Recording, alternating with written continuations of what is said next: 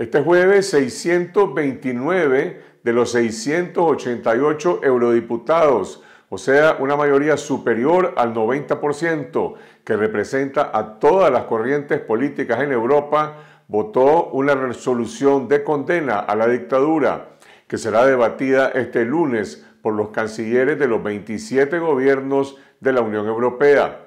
La resolución solicita a los gobiernos europeos rastrear el dinero de la corrupción de Ortega y Murillo y de los operadores del régimen y demanda la liberación de todos los presos políticos y los rehenes electorales para despejar el camino hacia una reforma electoral. De lo contrario, si en Nicaragua no hay elecciones libres el 7 de noviembre, si Ortega persiste en reelegirse sin competencia política y sin democracia, su gobierno tampoco tendrá un reconocimiento diplomático de los gobiernos europeos en 2022.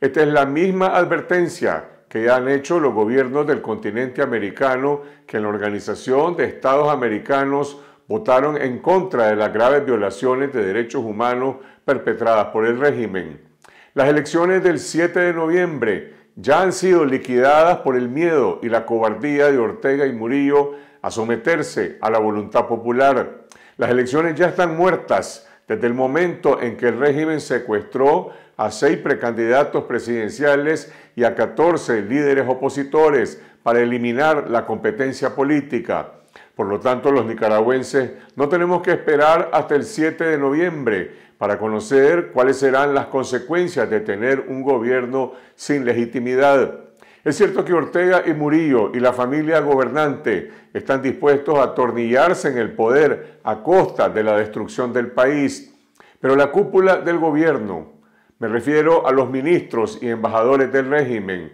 a los generales del ejército y la policía, a los magistrados de los poderes del Estado, a los diputados y los alcaldes y los mismos empresarios sandinistas,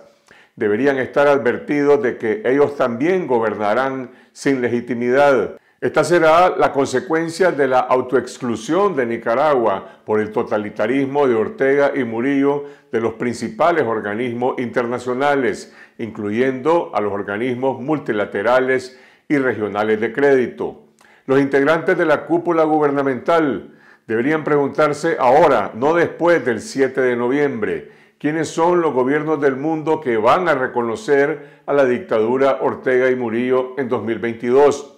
los gobiernos títeres de Rusia en Osetia del Sur, Abjasia y Crimea, los aliados ideológicos de Ortega en América Latina, en Venezuela, Cuba y Bolivia.